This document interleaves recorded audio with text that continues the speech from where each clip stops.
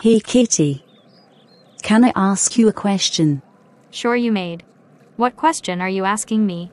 Do you want to be a troublemaker? No, thank you. I will not become one. Because I will not become a troublemaker in my life. Oh, okay. Will you become friends with the Graham twins? No.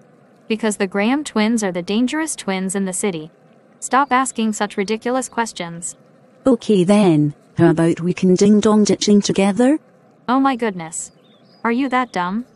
Ding dong ditching is a crime and you will go to prison for doing that.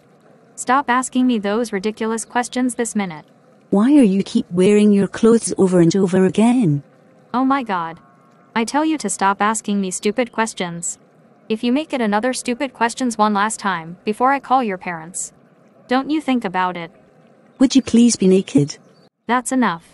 I had enough of your stupid questions already. I am more ticked off. Whoa. Chill out.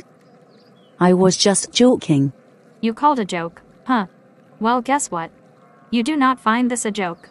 I'm tired of your stupid questions already. I think you done enough today. Go home this instant before I beat you up to the floor.